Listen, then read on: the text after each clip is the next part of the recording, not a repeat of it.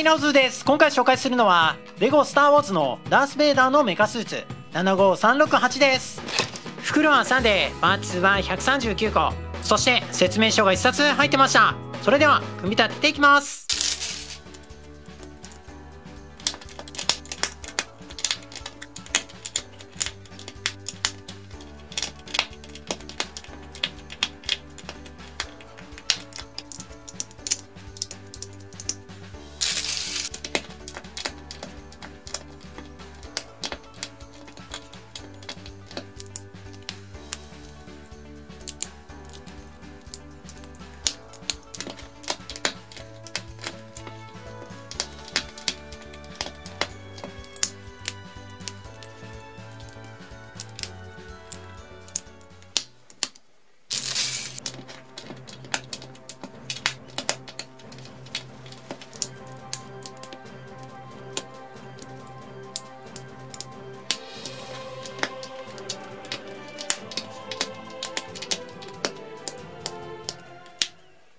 はい、完成です。ミニフィグはダース・ベイダーです。特に変わったところはないかなと思いますね。上半身足パーツしっかりプリントが入ってて、えー、マントは固めの布素材になってます。で、えー、マスクの下の顔なんですけど、こんな感じ。これ今年の新パーツになってますね。手に持ってるのはライトセーバーでかっこいいですよね。塚のパーツなんですけど、予備パーツでもう一つ入ってました。シルバーの塗装パーツですね。そしてダース・ベイダーのメカスーツです。かっこいいですよね。あの、忍者号にもたくさんメカスーツあって、えっと、使ってるベースパーツ、手足のベースパーツっていうのは、あの、忍者号と一緒なんですよね。ですけどなんかこっちの方がかっこよく見えてしまうのが不思議だなと思いました。まあ、色なのか、この辺の装飾パーツかな。あの、やっぱりこっちの方が個人的にはかっこいいなと思いますね。胴体部分、胸のカバーパーツ自体は特に変わったところはないですね。で、そこについてるこれプリントパーツなんですけど、これね、ダース・ベイダーっぽくていいですよね。えー、これ新パーツでこのセットにしかついてません。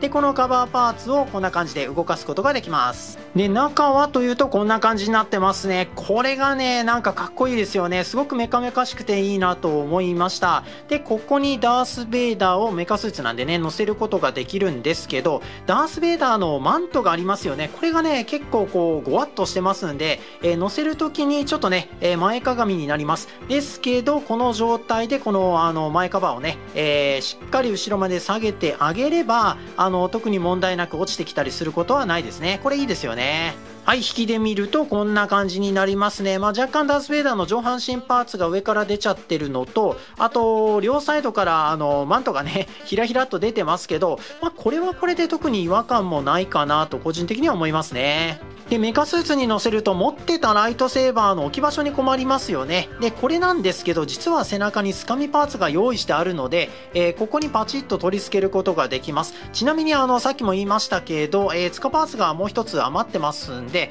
これをあの反対側に取り付けて、で、えー、このね、えー、クリアパーツの部分を取り外せば、まあちょっとね、なんかブースターっぽくして遊ぶこともできますんで、結構ね、楽しめそうですよね。続いて腕部分見ていきましょう。このがっしりとした太さがいい感じですよね。強そうですね。で、つけてる装飾パーツ、まあアーマーみたいなね、感じになってますけど、これがね、落ち着いた感じでいいなと思いますね。あの、あんまり派手派手しくないので、あの、なんかすごく実用的な感じで、個人的にはすごくいいなと思いました。で、この腕、後ろから見るとグレーと黒なんですけど、前から見るとここに、あの、エンジ色みたいなね、え、色が入ってるということで、ここがなんとなくまがまがしさを出してていいなと思いましたね。で、手に持ってるのはおそらく大きなライトセーバーということだと思います。これいいですよね。えちなみに普通のライトセーバーと比べるとこんな感じです。あの、長さとしてはほぼ倍ぐらいありますね。え、太さも倍まではないですけど、え、結構ね、がっちりしてて、えっ、ー、と、新パーツですね。このセットにしかついてないので、これはね、いいパーツだなと思いました。ちなみに取り外すとこんな感じのパーツになってます。えー、先端がね、丸くなってるんですよね。それから途中に気泡がね、えー、ところどころ入ってます。これ多分個体差なので、えー、まあ気泡の数はいろいろかなと思いますね。で、付け根部分なんですけど、これがね、十字パーツになってますんで、なのでテクニックパーツとかにね、えー、付けられるという感じになってますね。ちなみに塚はこんな風になってるんですね。まさにもうテクニックパーツそのままですよね。でこれがねちゃんとそれっぽく見えるのが面白いなと思いました。でこれを、えー、手のね輪っかがありますんでここに差し込んで、えー、抜けないように下からこれもね、えー、パーツを取り付ければこれで OK です。あと指パーツが3本ついててこうやって動かすことができます。こんな風にするとなんか握ってるような感じに見えますね。で左手もほとんど右手と同じなんですけど左手には手のひらのとところに輪っかパーツがデフォルトで付いてないんですよね。なので、えー、ライトセーバー抜いてそのままこっちにね、えー、取り付けるということができないです。これちょっと残念ではあるんですけど、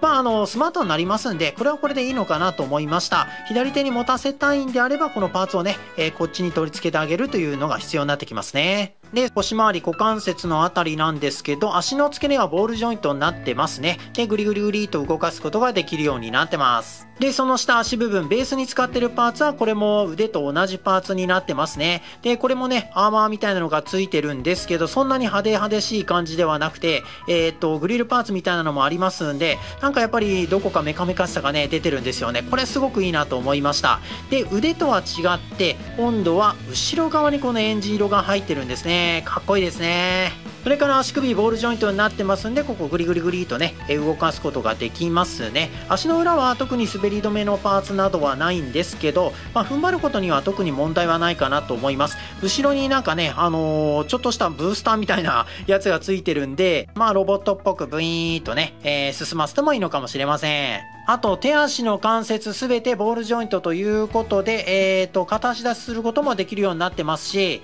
ライトセーバーがありますんで、こんな感じで逆立ちしてるようなね、えー、シーンを作ることができます。これ、ポージングは相当いろいろできそうですね。で、もちろんそれっぽいポージングもできるということで、これはね、かなり遊べるんじゃないかなと思いました。はい、いかがでしたでしょうか？レゴでは最近よく見かけるメカスーツではあるんですけど、カラーリングも含めてデザインすごくかっこいいと思いますし、可動域も広いので満足できるセットになってるんじゃないかなと思います。このセットのパーツ数は139個です。以上、レゴスターウォーズのダース・ベイダーのメカスーツ75368を紹介しました。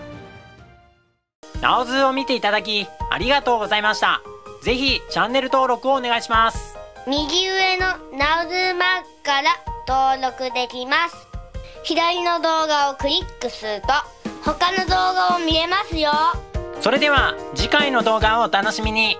バイバイ